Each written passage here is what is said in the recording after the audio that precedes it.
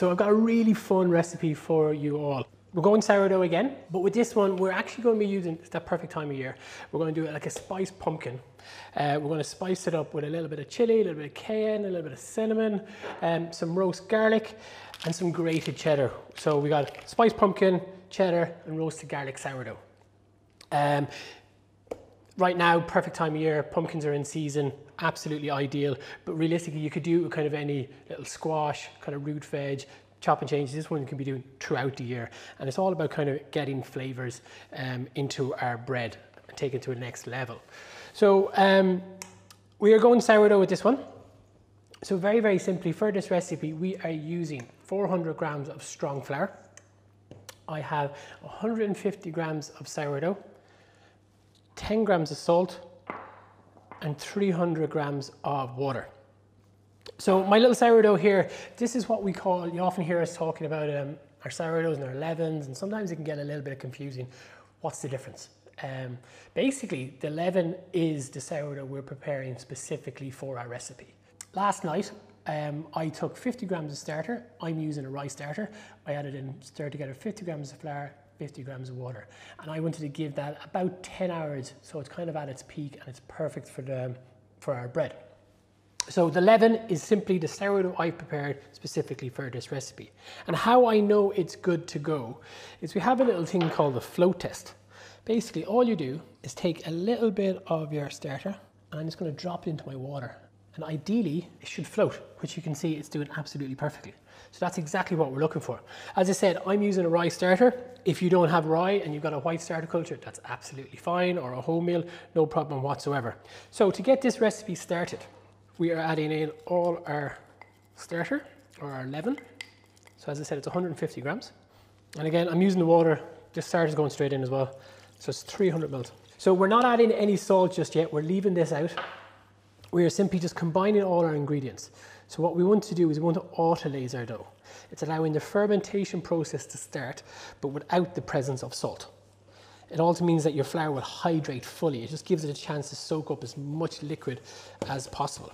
So once you, all your everything, all the flour has been incorporated, we're simply going to pop that to one side and we're going to leave it rest for about 30 minutes. So while our dough is resting and while the autolyse process is is uh, going through, we can simply look to prepare our pumpkin and our garlic. So you probably want about 400 grams of raw pumpkin, which by the time it's roasted, it'll you'll be left at roughly about 200 grams. So kind of go a little bit more. So just literally peeled, roughly diced, and I'm just going for um, about like a half teaspoon of paprika, a little bit of chili, a little pinch of cayenne pepper, some salt, some pepper, and a little bit of cinnamon. So it kind of gives a kind of warm spice flavors to it. And we're just going to roast it for about 30 minutes with a little bit of olive oil at about 165 degrees, which should give us then beautifully soft pumpkin. We also want to add to our dough some roast garlic. Easiest way to roast your garlic is literally take the full bulb in the skins and just pop it in on the tray on top of your pumpkin and in about 30 minutes it should have a like soft little pinch to it. That's all we're looking for. And all you're going to do then is just pop it out and you'll be left with these lovely soft roasted garlic cloves. So for this recipe I want half a bulb. So it's not a clove, it's a bulb. So I want half of this. So we want lots and lots of flavor because you'll kind of find once garlics get roasted, its flavor really, really changes. It gets that beautiful sweetness to it, um, as opposed to that kind of really punchy um, garlic flavor which we're used to. And then throughout our dough, we're going to have some grated cheddar spread throughout it. So our dough has been kind of sitting for the last 30 minutes, but at this stage now, what we want to do is we're going to incorporate our salt. We're using 10 grams of sea salt, just sprinkle that in. And at this point as well, we're going to add in our roasted garlic. I'm just simply just using the back of the knife and just kind of squash it down, a bit like a roast garlic puree, which is just going to make it a little bit easier just to work it into my dough. And as I say, it's a half a bulb of garlic. And then all you're going to do is what to knead. So you could use a little dough scraper, you could turn it out on the table if you want, or if easier, you can just keep everything within the bowl and just use your hand. So if you use your hand, basically you're shaping a bit like a dough hook. And then let's just start working everything in together.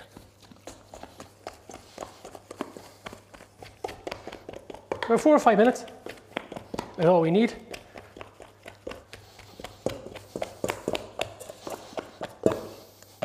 I just use a little bit of oil on my hands. I'm just using a little bit of vegetable oil or sunflower oil.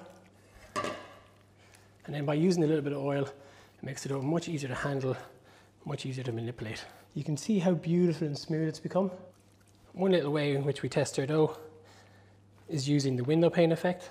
So again, a little bit of oil in your hands, small bit of dough, and aim towards the center, nice and slowly stretching the dough out. It's a little bit trickier with wetter, higher hydrated doughs, but you can kind of see it, that kind of light and shadow behind it. And it's able to hold its weight. It's not ripping and it's not tearing. So that's exactly what we want.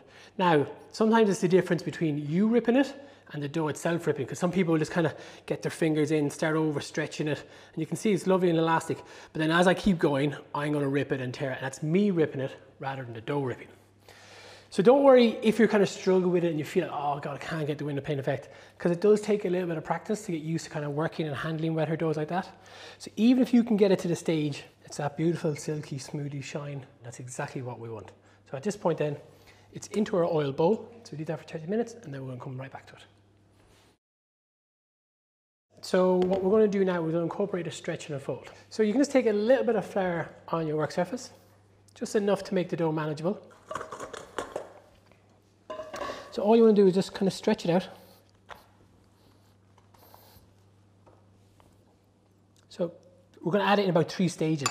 So you about a, roughly about a third, spread it over the surface of the dough. So don't judge me with this recipe because I am putting in a full block of cheese, uh, but I promise you it's completely worth it. So we're using like a nice Dubliner cheddar here. So a nice generous grating. So then very simply all you're doing, folding your dough into the center, from the base folding again, and then the left over right. Little drop of oil in our bowl. Back into our bowl and it's going to rest again for another 30 minutes. And we'll repeat that process two more times. A little bit of flour on your counter, turn the dough out, just stretch it out. So you probably feel a bit more pull within the dough this time around because you can feel the strength building within our dough. Our spiced roast pumpkin. Again, lots and lots of cheese. Again, once again, fold over. You can already see the lovely spice, the pumpkin, the layers. Absolutely beautiful. Back into our bowl. And then we're going to repeat that process one more time. And then that would be it, our dough done. So simply just going to repeat the process exactly the same as earlier. So the last of our pumpkin spread throughout. And then just by doing it in kind of three different stages means you get a good even distribution of our pumpkin and cheese. And we're just going to keep back a little bit of cheese, which we're going to use halfway through our baking, which I'll show you later. Same as before, a little stretch, a little fold. And that's my little sous chef. It's James underneath the table. stretch and fold. And that is it. So rest for 20 minutes, then we're going to shape, and then we're going to pop it in the fridge overnight. So our dough's been allowed to rest. Always simple to do now. Just gently shape it. It's going to go straight into our Pyrex dish, which we're using for proving. So I just want to kind of a rough little kind of round. So I'm taking each edge, a little short stretch. Just let the next one on top of each other. You'll see it naturally start to curve around. You're going to find where you're going to have little pockets of cheese, pumpkin, all pushing from out the dough. Then simply using my hands, I'm simply just going to pull the dough straight towards me. So you just turn it 45 degrees, seam to the bottom, and we go again. Three or four times just to get a shape you're happy with. And then just a little rub of flour over the surface of the dough. It'll just help it to ensure that the dough doesn't stick when it comes to taking our tea towel off uh, come tomorrow morning. Put the dough together and then straight into your basket, upside down. Dust the flour on top. I'm just going to prove this in the fridge overnight. Happily sit there for 12, 14 hours, no issue whatsoever. And you can see now it's actually well proven. So I want to be nice and gentle with it. I don't want to kind of knock too much air from it. If you're worried about your dough sticking, just take a little bit of parchment paper and just put it on the base. So a little bit of parchment paper, make your life much easier. Simply pop your lid on, just flip it upside down.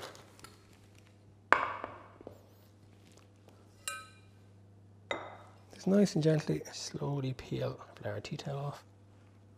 So don't just like pull it straight off because what you often can do, if it is, it's caught anywhere at all, you're just going to cause your dough to be knocked back. Last thing to do to our dough before it goes in the oven is I need to score it. So it's just very simply, I'm just going for a little cross on the top, Then it's simply the dome straight on top. And that's simply going to go into our oven um, at 240 degrees. I'm going to give it about 25 minutes with the dome on. And then after that, for probably the last 10, 15 minutes of my bake, I'll take the lid off.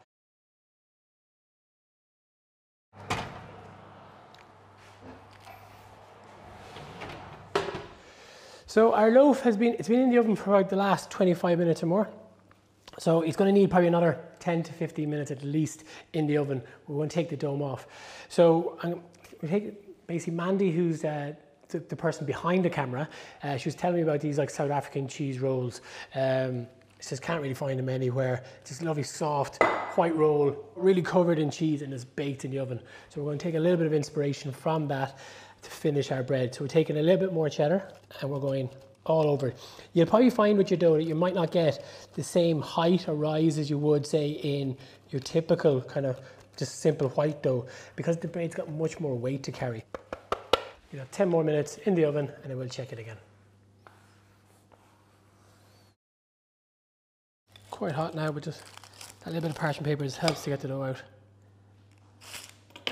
Now it's roasting hot at the minute. I'm going to let it cool for a couple minutes and then I'm going to throw the pull straight into it and you're going to see the pockets of our pumpkin, our cheese melted throughout it. So the real beauty of this loaf comes once we actually get the cut into it.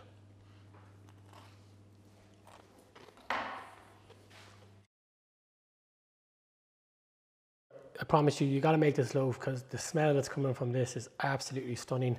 So I'm pull it apart. Now I've kind of destroyed the loaf here, but don't worry, we're, we're, we're going to tuck straight into it. Like you could do this little smaller versions, little tear and shares, but yeah, and the cheese on top. Really amazing. It's just comfort food. So yeah, that's our spiced pumpkin, roast garlic and cheddar sourdough. Give it a go.